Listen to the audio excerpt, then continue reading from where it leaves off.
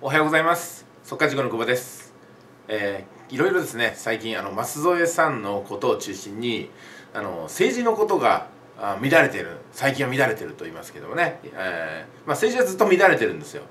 なんで乱れてるかというとあなたが政治に参加しないからですよね。見識素晴らしい。あなたが政治の中核にいないんでこれからも政治は乱れ続けます。ですんで政治に関わっていきましょうという話をね何をしてるんでしょうか。まあこういうのはね詭弁というんですけどもまあまあまあまああの多くの質問をいただきました。ありがとうございます。面談をしたりしても雑談の中で出てくるのがあ我々のね納めた税金が正しく使われてないという不満です。うん、まあ分かるんですけどもね。あの税金を年間でやっぱり私が言われたのはあ少なくとも300万納めてる人は文句言ってもいいよと。300万税金納めるのかと。今は納めてるけど当時は全然そのいかに税金を払わないようにね、えーしてたんで、まあ、年間で消費税しか払ってないみたいな感じだったんですけどね。そういうところの人が文句言うのはおかしいよって言われたんであしっかり稼いで文句が言えるぐらいの納税しないといけないなと思ったんですけども、まあ、そういう前提を抜きにしてですね。あの今日はねこの政治の腐敗についてお話ししましょう。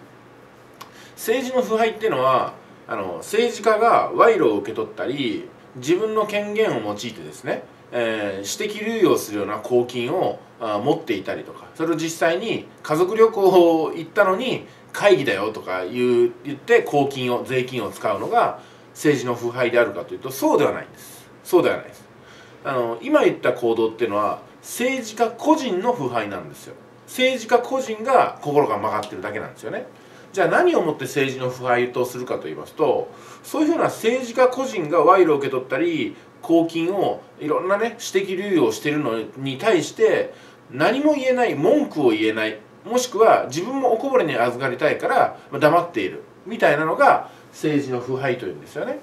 だから政治家個人の腐敗ならその個人を取り除けばいいと。でも政治の腐敗っていうのは有権者込みで不正をしている人に対してねまあ文句が言えない罷免できない、えーまあ、その人を取り除いて別の人をもうね両立することができないっていう状態のことを言います。こうなると重症です。なぜなら今日のまとめに入りますけども政治というのは正しく父が治めると書きますよね。正しく父が治めるという書きます。ですんであの父っていうのは一つの象徴的な言語で一家の主っていうあの決定権者って意味なんですけども国の父まあ女性でもいいんですけども国の決定権者地域の決定権者東京都の決定権者が正しくなければ政治が行われないっていうことなんですよね、えー今日の速稼塾政治ワード。今日で終わりますけども1回しかやらないですけどいかがだったでしょうか？終わり。